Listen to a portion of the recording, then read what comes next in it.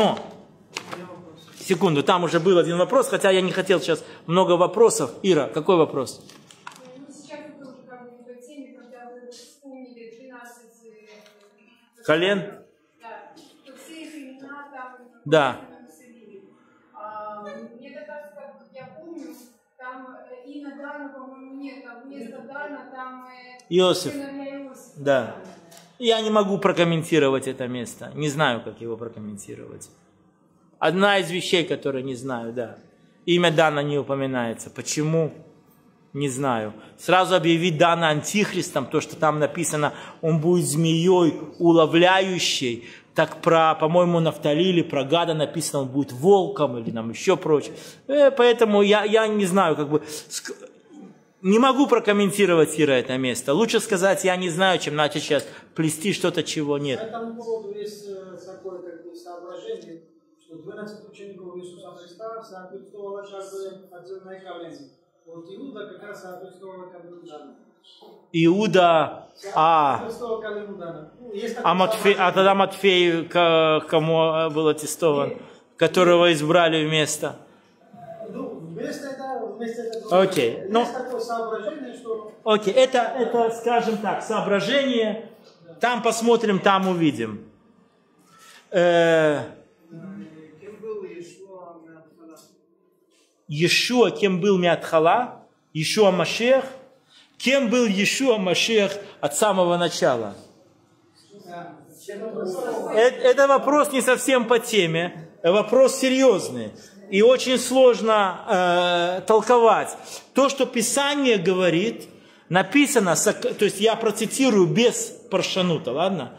Сокрыт в недре отчим, то есть он там был, был словом, им Бог, то есть участвовал в творении. В Колоссянах написано, ибо им, через него им и через него все стоит. И это место прямая цитата из притчи. А в притчах такими словами названа «премудрость Божья все творила». То есть был премудростью Божьей. Очень сложно понять. Очень сложно понять.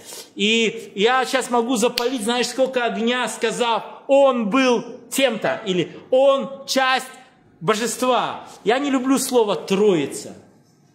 Очень не люблю это слово. Вообще какая-то ерунда. Но написано в Иеремии, ибо там написано, «Госп- Господь придет, и имя Его будет Господь, то есть Избавитель придет, и имя Его будет Господь, оправдание наше. То есть видно, что это не человеческого уровня личность, то есть, ну, не, не, не, не, не человеческого. Поэтому написано, что в, в Коринфянах написано, Павел говорит, был человек перстный, а был человек небесный. То есть был первый Адам и был последний Адам, то есть последний Адам.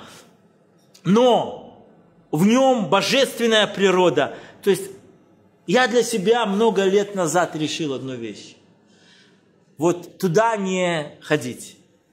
Почему не ходить? Потому что написано непроизносимое, Гос- э, непроизносимое Господне в суе, а это все в суе. Потому что кто из нас может такую вещь прояснить? Никейский собор, еще какой-нибудь собор? Да не знаю. Меня он устраивает как господин, вождь, Машех, Спаситель, Сын Божий. Я во имя Его молюсь, прихожу к Нему, Он покрыл мои грехи, жертва совершенная. А углубляться в больше, да я не могу разобраться в самом себе. Я могу в богостроении разобраться. Не хочу. Тем более, это, по-моему, более здраво. По крайней мере, тебе легко достучаться до одной группы людей и до другой группы людей. Просто не лезь туда, где непонятно.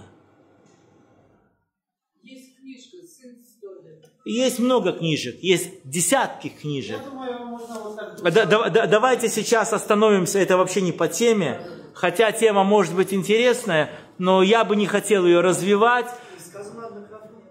А? Вот так вот четкого утверждения нет таких утверждений. То есть в одном месте написано, э, что думают обо мне люди, еще спрашивает своих учеников, они хранить Мог ли Адам хранить? Мог. Вот как мы знаем, потому что не дает Бог более способностей.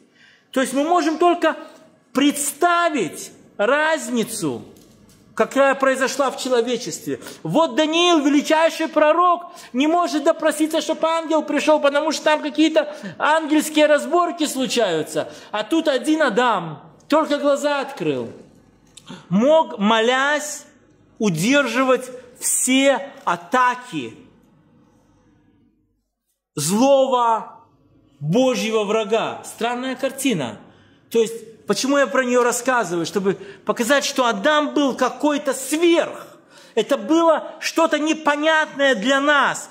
То есть, мы с нашими пятью процентами в космос летаем. А что мог делать Адам, про которого, сотворив Господь, сказав, то в миод. Очень хорошо, совершенство, сто процентов.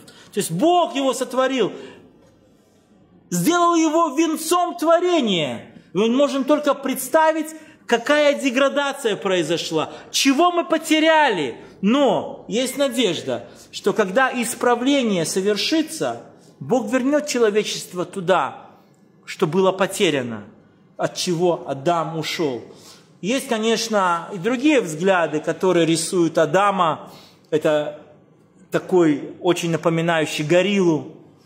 Он прыгал с одного дерева на другое за бананом и хвостом зацепился за этот, и хвост оторвался. И вот стал он... Я не верю в такого Адама, но верю в этого совершенного, намного, намного более превосходного. Знаете, еврейский мидраж – говорит, Адамом и Хавой мир был создан. И помните, когда умерла Сара, где Авраам пытается ее похоронить? В пещере, которая называется Амахпела.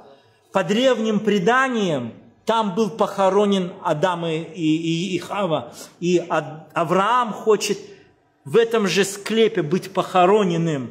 И он прилагает неимоверные усилия, чтобы заполучить этот склеп. И он платит просто огромную баснословную сумму денег за то, чтобы иметь это погребальное место. Написано, 400 сиклей он заплатил сынам Хета. Помните, да? В те времена рабочий, обычный наемный рабочий, зарабатывал 8 сиклей за год. То есть это 50 лет работы. Это даже больше, чем израильская машканта. Это две машканты. Он заплатил за место погребения, потому что он знал, что с одной стороны он Бен Адам, сын Адама, а с другой стороны Адам свою миссию не выполнил, а им Бог начал исправлять мир его народом, его потомками, и потом лучшим из его потомков, которого зовут Иешуа Хамашиах. И вот человек, и вот происходит это падение, деградация. И да, это было предусмотрено. Верхом исправления было заклание Машиаха прежде сотворен, сотворения мира. То есть, как потенциал Бог вкладывал. Есть человечество, то есть он как бы предложил два пути, план Алиф и план Б. Во многих фильмах это, это вот. Я тебе даю выбрать план А и план Б. И человек говорит, не, не, не, ну, не пойдешь, то есть все равно ты вернешься. Если бы это было не так, а? Бехера, пускай Бехера, выбор. Но если бы это было не так, тогда можно было бы назвать Бога, я очень аккуратно хочу сказать это слово, какое правильно выбрать слово, неудачник. Знаете почему? Лузер, да? Почему? Потому что вот он сотворил мир, а он рухнул. И все, так просто. Творец не творит ничего. И сотворив совершенное, дал его в руки человека, допустил вот это падение, но приготовил план исправления, чтобы произошло полное восстановление. Вот я его уже читал вам в Деяниях апостолов. Да, придут времена отрады, когда небо, когда придет Иешуа второй раз, которого небо должно было принять до времен исправления всего, когда все будет исправлено.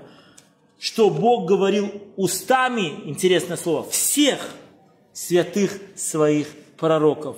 То есть все святые пророки провидели эту ситуацию. Каждый под своим углом. Исаия, когда провидел эту ситуацию, он говорил такие слова. «Раб мой Израиль, мало, как-то малолюдный Яков, Израиль, Говорит, я взял тебя и сделал тебя молотилом в своих руках, то есть инструментом. Тобою буду согрушать горы. Мы можем интерпретировать, горы неправды.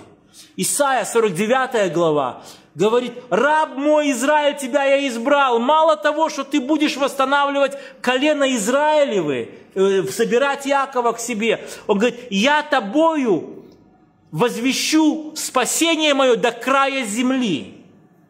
Это пророческое воззрение. То есть Исаия в этих вещах был очень конкретен. Все пророки это видели. Но, к сожалению, очень часто теология христианства или модерного христианства вообще не усматривает эту вещь и сосредотачивается только «я, вот он я, я хочу спастись». И даже такая популярная фраза «Ибо сегодня день твоего спасения». Да, понятно, но кто знает, что такое побочный продукт? Это вот если у нас у многих есть ассоциация с бывшим Советским Союзом. Завод производит танки, а побочный продукт это холодильники. Ну, сталкивались с такой вещью, да? Или там стиральная машина, чайка. Не знаю еще чего. А? Бронированная. Даниэль мне подсказывает. Нет, она не была бронирована. Это было побочным производством. Я хочу сказать, что основное производство, к которому притягивает Господь верующих, это исправление. А побочное, которое тоже хорошее, это ты, я, он, она, наши личные жизни, наше спасение. И, к сожалению, у многих модерных верующих все перевернуто с головы на ноги. Вот я спасусь, я спасусь. Я бы назвал вот это вот состояние белым эгоизмом. Есть черный эгоизм, когда я такой злой, я не верю в Бога, все для меня, а тут я стал белым эгоистом. И, и э, я спасен, я посажен. Для меня, я, понимаете, да? Улавливаете? Я, я. На самом деле, Бог нас, как народ, сорганизует, чтобы мы, как Кигила, Кагаль, группа, в этом смысл, удерживали те обетования и праведный образ жизни, потому что это влияет на многих. И этим мир – приготавливается к исправлению, к изменению. Так, ладно.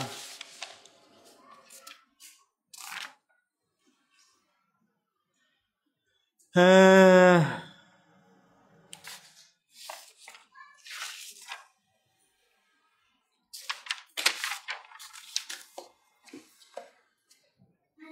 думаю, хватит на сегодня. Дорогие друзья, шалом! Мы рады приветствовать вас на нашем веб-сайте Oasis Media.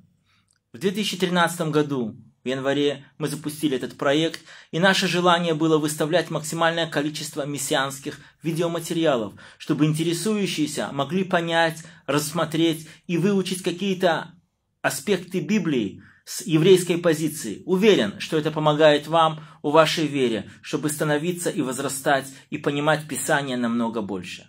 Вместе с этим я хочу напомнить вам, что этот волонтерный, добровольный проект мы ведем, выкладываясь полностью, и лучшие люди работают над ним. Это стоит нам денег. Я не очень люблю просить, но в данном случае обращаюсь к вам с просьбой. Если Господь располагает вас, ни в коем случае вы ничего не обязаны, и вы все-таки захотите пожертвовать 2, 5, 3 доллара, сколько захотите, то при множестве это усилит наши возможности переводить материалы с иврита, давать вам видеть большее количество учений. И я уверен, что это будет благословение и для вас, и для нас. Мы создали такую возможность. Если вы нажмете вот на эту кнопку Donate, пожертвовать, и войдете в нее, то там будет возможность через PayPal систему сделать небольшое пожертвование. Это будет благословением. Уверен для нас, уверен для вас. Пусть Бог благословит вас. Спасибо, что вы с Оазис Медиа.